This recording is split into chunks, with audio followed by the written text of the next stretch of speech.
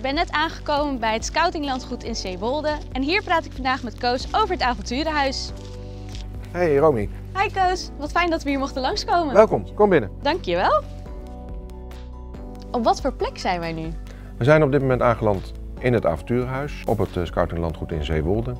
En dit project is mede mogelijk gemaakt door de LEADER-subsidie en de gemeente Zeewolde en de provincie Flevoland. Dat klinkt super gaaf, maar waarom wordt nou juist dit project gesteund door Europa?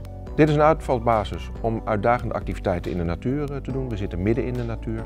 Eh, daarbij moet je denken aan zeilen, eh, wandelen, klimmen. En we hebben dit huis gebouwd opdat we onze jeugd die niet buiten mag kamperen of de minder valide die niet buiten kunnen kamperen, toch met de uitdagende activiteiten mee kunnen doen die men buiten organiseert voor hen.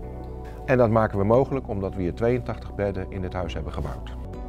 Flevoland en Europa hebben wel degelijk veel met elkaar te maken.